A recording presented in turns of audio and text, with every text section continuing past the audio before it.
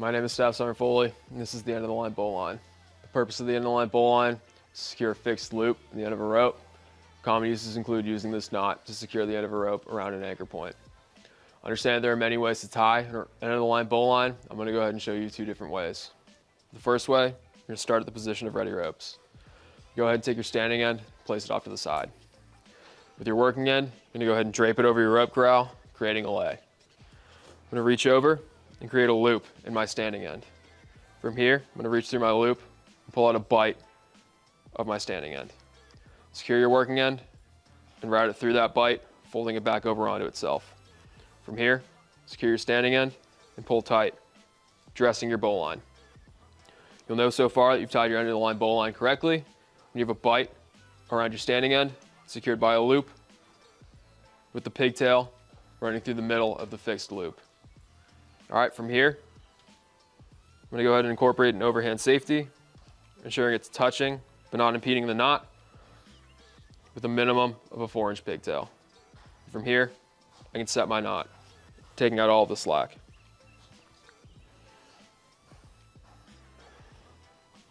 Once you're complete, to check your work, you'll see that you have a bite running around your standing end, secured by a loop, with an overhand safety that is touching but not impeding your knot, with a minimum of a four inch pigtail.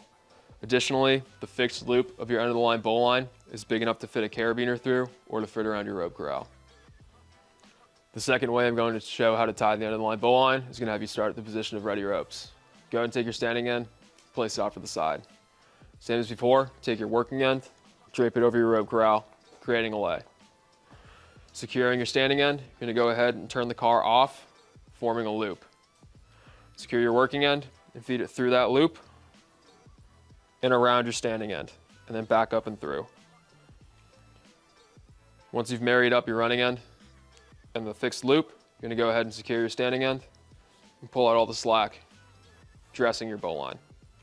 All right, from here, same as before, I have a bite running around my standing end, secured by a loop, with my pigtail exiting in the middle of my fixed loop. And again, fixed loop is big enough to fit a carabiner or to fit around my rope corral. I'm gonna finish this off the same way as before by incorporating an overhand safety. Again, touching, not impeding the knot with a minimum of a four inch pigtail. And from here, I'll go ahead and set my knot, taking out all the slack. One last time, I'm gonna check my knot, ensure that I have a bite running around my standing end, secured by a loop, with an overhand safety touching, not impeding my knot, the minimum of a four inch pigtail. My fixed loop is big enough to fit a carabiner or fit around my rope corral. This is the end of the line bowline. This is a 45 second knot. Starting from the position of ready ropes, I'm gonna go ahead and take my standing end, indicated by my red tape, and place that off to the side. With my working end, I'm gonna go ahead and lay that over my rope corral. From here, I'm gonna reach over, form a loop in my standing end. I'm gonna reach through that loop and pull out a bite. With my working end, I'm gonna route it through the bite and fold it back over onto itself. With my opposite hand, I'm gonna secure the standing end and pull tight, dressing my bowline. From here, I'll know I've tied the bowline correctly if I have a bite with the standing end running through it, secured by a loop.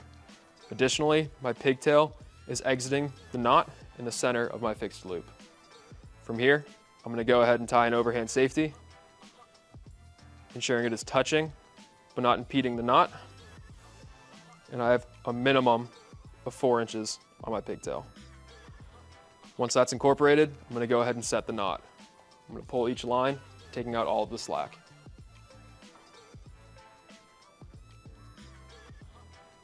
From here, although the line is tied correctly, again, I have my bite with the standing end running through it, secured by a loop. My overhand safety is touching but not impeding the knot. My pigtail is a minimum of four inches. My fixed loop is big enough to fit a carabiner or fit around the rope corral. The second way I'm gonna cover how to tie the end of the line bowline is gonna have you start at the position of ready ropes. I'm gonna take my standing end, indicated by my red tape, place it off to the side. My working end, indicated by my yellow tape, is gonna get draped over my rope corral, creating a lay.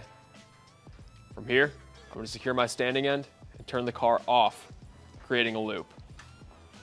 Secure my working end and feed it through that loop.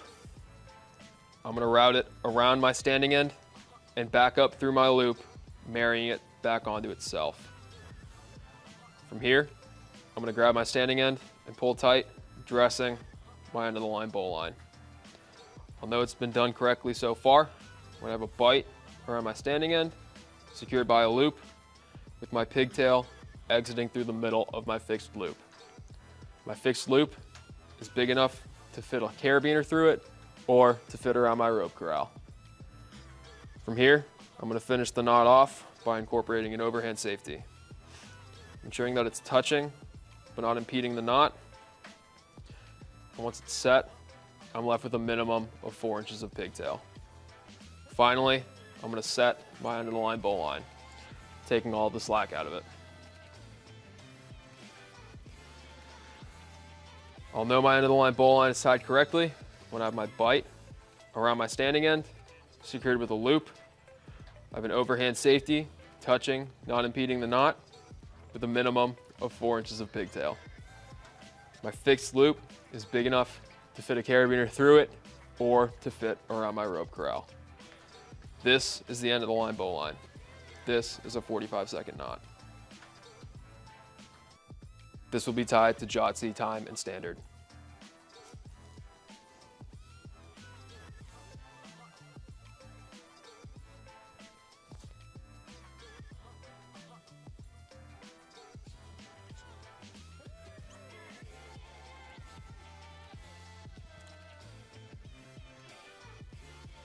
This is a 45 second knot.